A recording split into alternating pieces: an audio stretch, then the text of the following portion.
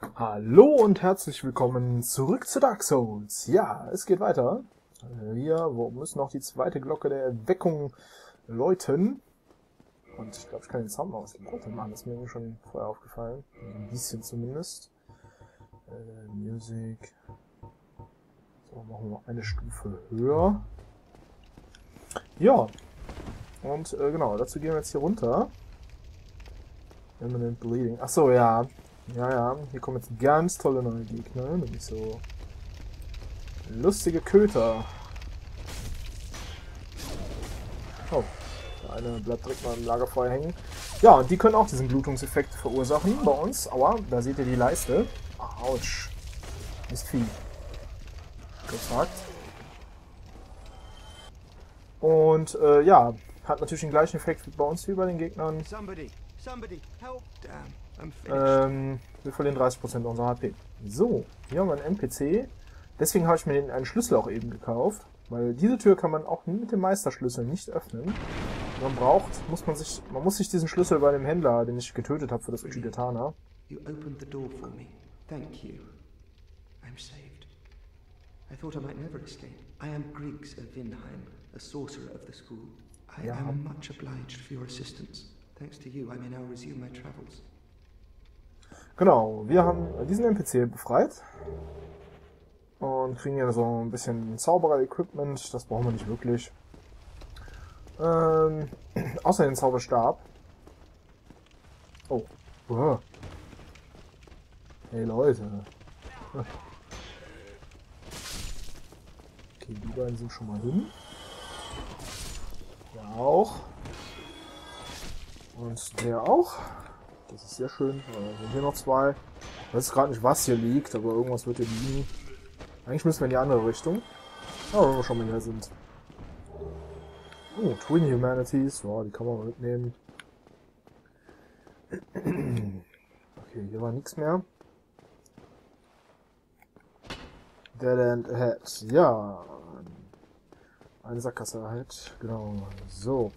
Den äh, Griggs of Winheim, hier diesen Zauberer, den treffen wir am Feuerling, Shrine wieder. Ich glaube Feuerbandschrein heißt der, glaube ich, auf Deutsch. Äh, da trifft man ihn wieder und äh, ja. Hallo? Wir müssen doch jetzt eigentlich. Ja, genau, das wollte ich. Die Türen gehen auf und raus kommen drei Gegner. Autsch. Ich glaub's ja nicht. Das gibt's ja nicht. So, der ist tot.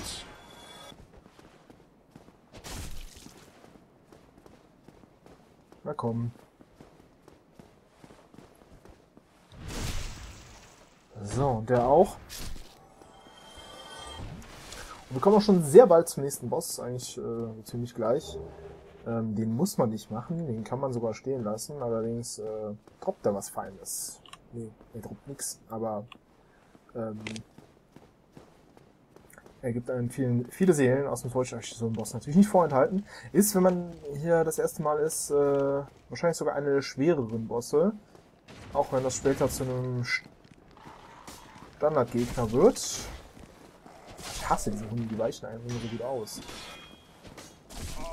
Ah. Wurfmesser sind auch doof. Alles doof. Autsch.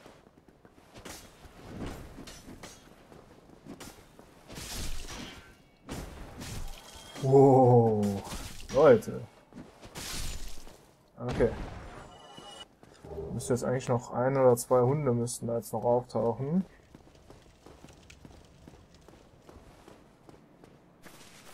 Müsste noch einer sein, genau, da kommt er an. Ja, die weichen halt immer so blöd aus. Aua.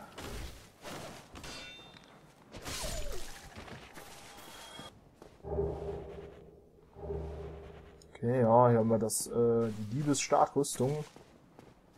Äh, hier war nichts mehr drin. Nehmen wir mal einen ordentlichen Schluck.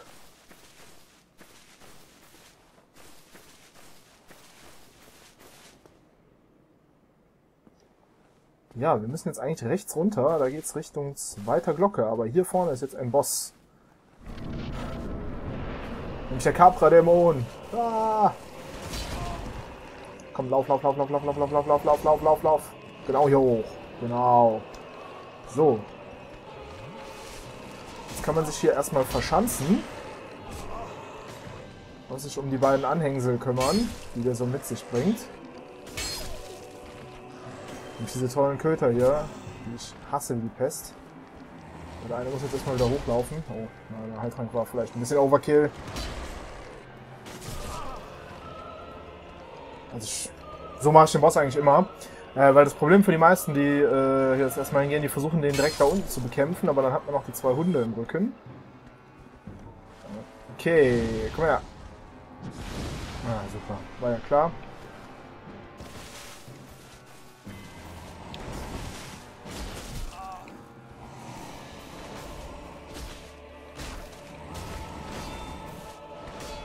Puh, ja.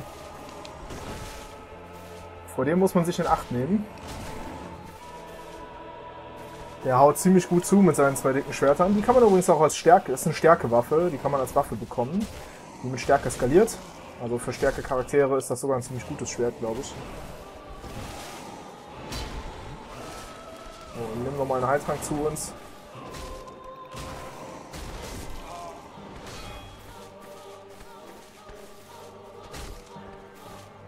Und ja, die werden, also die Viecher werden auch später mal zum Standardgegner. Da, ja, und äh, hier wirkt der Blutungseffekt von unserem Katana. Wow, jetzt muss ich aber aufpassen. Mal einen Schluck trinken. Gleich ist es geschafft. Jawohl. Ja, ersten Versuch. Ah nee, genau, man muss den Boss doch machen. Jetzt fällt mir ein, doch, der droppt äh, nämlich diesen Schlüssel. Ohne den kommen wir gar nicht weiter. Also man muss den Boss machen. Vergesst, was ich vorher gesagt habe. Äh, ja, ist halt wie gesagt schon was her, dass ich das Spiel gespielt habe. Aber jetzt können wir einwandfrei in die Tiefen. Und ich glaube, hier kommt noch ein Köter oder sowas. Ah, nee, da hinten steht noch ein Bandit. Äh, oder so ein Dieb. Hier muss man nur aufpassen, weil hier... Ne, hier steht nämlich noch einer. Äh, wenn man das nicht weiß, hat man den im Rücken hängen auch sehr fies. Das sind so wirklich die Gemeinheiten, die dieses Spiel für, die dieses Spiel für einen bereithält. So, und den spießen wir auf von hinten. Yay. Und hier finden wir auch gleich ein sehr wichtiges Item, um unsere Waffen weiter upgraden zu können. Oder um die Waffen, vor allem, äh, wenn ihr, also um physische Waffen auf plus, bis zu plus 10 upgraden zu können. Auf bis zu plus 15 geht's bei den physischen Upgrades. Bei den anderen Upgrades entweder nur plus, plus 5 oder nur bis plus 10. Ähm, aber bei den physischen bis zu plus 15. Dann könnt ihr euch vorstellen, dass die physischen Waffen, wenn man eine mit der richtigen Skalierung findet, äh, somit die besten im Spiel sind. Dass es auch noch Zauber gibt, die diese enchanten. So, jetzt muss ich aufpassen. Hier kommen nämlich von beiden Seiten Gegner. Äh, ich will nämlich wenigstens noch bis zum nächsten Leuchtfeuer kommen. Na komm, hau zu. Tut's eh nicht. So. Zack. Und einmal durchbohrt.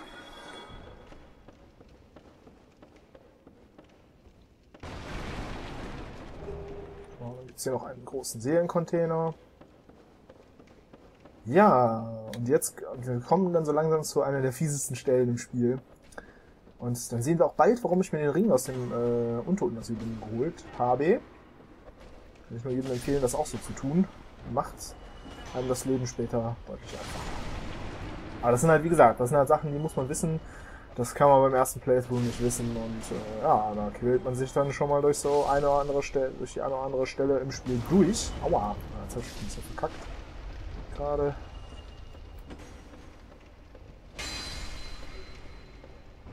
So. Trinken wir mal ein Schlückchen. Ne? So, jetzt müsste noch ein Köter stehen.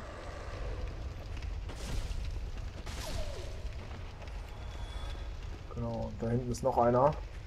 Und da ist noch ein Metzger.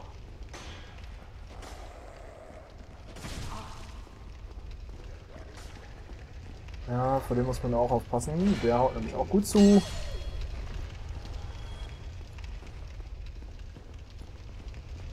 Na komm. Ja, mach du mal den. Dann machen wir nämlich das hier. Ja. Und das sogar mehr als einmal. Ja. Und hier finden wir jetzt auch das Item, was ich meinte, was so wichtig ist für die Upgrades. Komm. Oh, scheiße. Ach, ich gut. Der darf jetzt nicht da runter. Die Treppe runterkommen. Wo ist er denn jetzt? Ach, der ist runtergesprungen. Ah.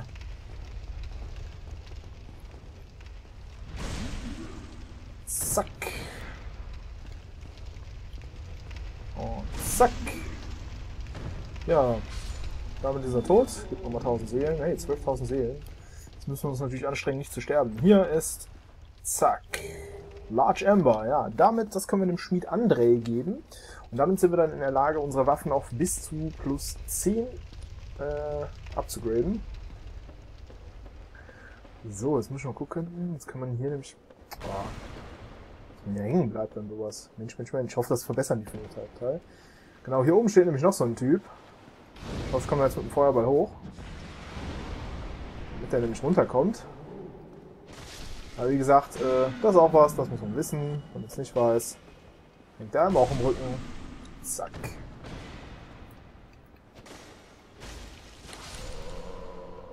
Jawohl, und dann nochmal mit, äh, mit nicht geführten Waffe. Ja, das ist deren Helm, ein Leinensack. Und die gibt es auch nochmal einen NPC zu befreien.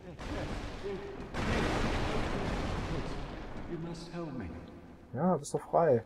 Chill doch. Thank you. I would have been a supper without you. Been eaten alive. I shudder to think. Thank you. Thank you, I am Laurentius. For the great spot. I will not forget my debt to you. Ja, ihr seht die Ähnlichkeiten in unserer Rüstung. Äh, das ist auch ein Pyromancer. Und äh, den haben wir jetzt befreit. Und der bringt uns dann neue Pyromantien bei, wenn wir neue Pyromantien lernen wollen. Ups, hier durchspringen.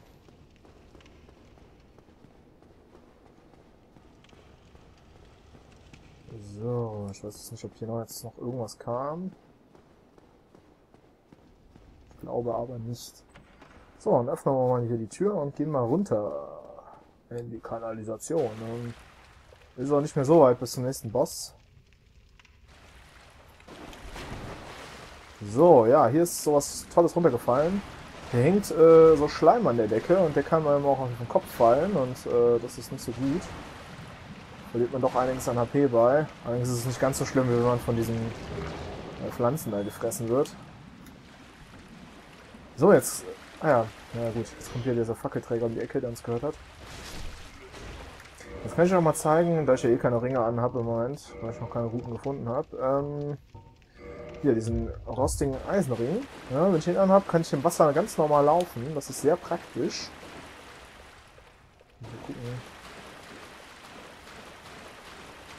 Ähm, brauchen wir gleich. Hier jetzt eigentlich noch nicht so dringend. Und jetzt darf ich hier nicht zu schnell durch, weil hier hängen mehrere von diesen Blobs an der Decke. Und ich will nicht, dass da irgendwie einer auf meinem Schädel landet. Hab ich keine Lust drauf. So.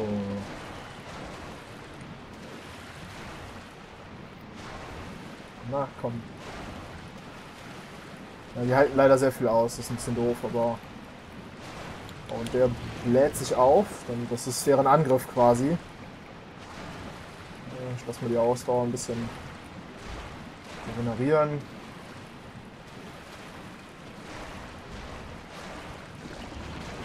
Okay. Ja, das kann jetzt ein bisschen dauern, dass ich mich hier durch die ganzen Viecher schnitzel. Oh. Hey, ich treffe alle drei. Das ist sehr ausdauereffizient, drei Gegner zu treffen. Ja, das ist auch gerade gestorben. Damit erhöhen sich... Aua.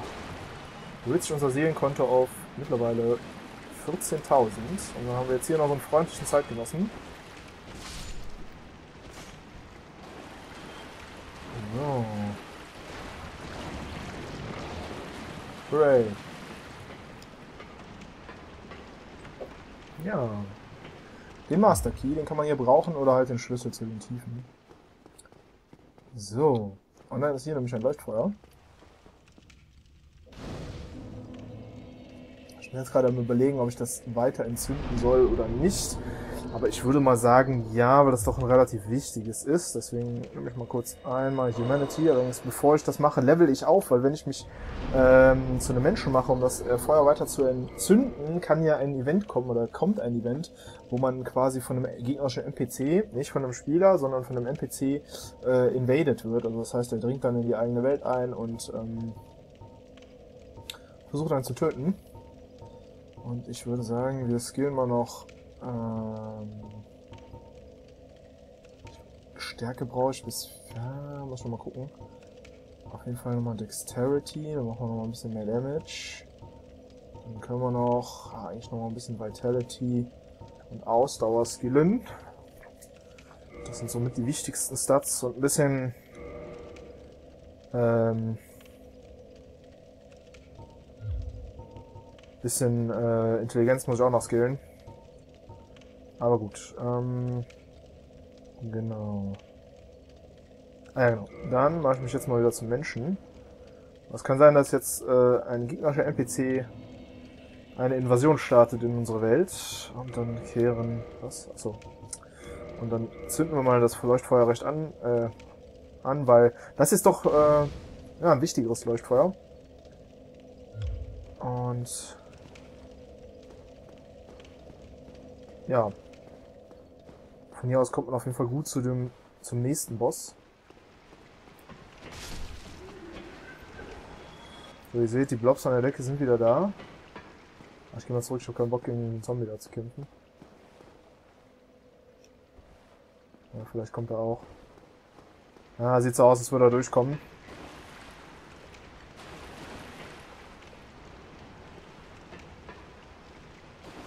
Na komm, bisschen schneller wäre nett. So. Okay. Ja, guckt euch das an. Eine Riesenratte. Yay. Oh. Und hier ganz viele kleine. Oh. Oh, ich will nicht vergiften. Nein, nein, nein, nein, nein, nein. Ach nö, jetzt bin ich umzingelt. Ich komme nicht mehr raus. Ja. Zum Glück habe ich alle Seelen ausgegeben. Scheiße. Ja, da sollte man mit etwas mehr Bedacht rein. Später, äh, sorry, das ist noch so, ja, bei mir sind auch so gewisse Automatismen auch in diesem Spiel äh, drin. Äh, weil das ist zum Beispiel eine Stelle, wenn man Menschlichkeit farmen will, Ratten droppen Menschlichkeit. Und wenn ihr Menschlichkeit farmen wollt, ist hier unten in dieser Kanalisation ein sehr guter Ort dafür. Und ja. Und dann geht man halt dahin und später haut man da einfach nur einmal rein. Und dann sind die alle weg.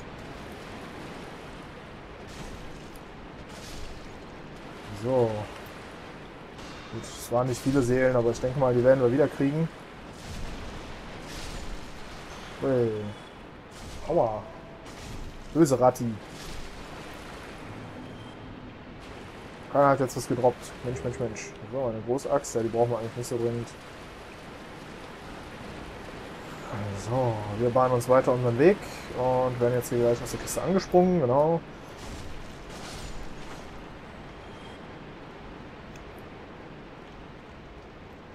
Zack. Und dann machen wir eine Sprungattacke nach unten. Aua.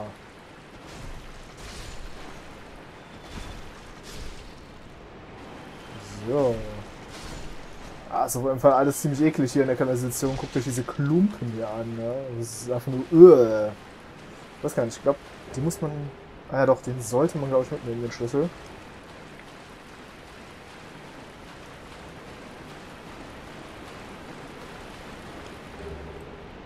Und hier ist noch eine Seele. Genau, dann geht es hier weiter.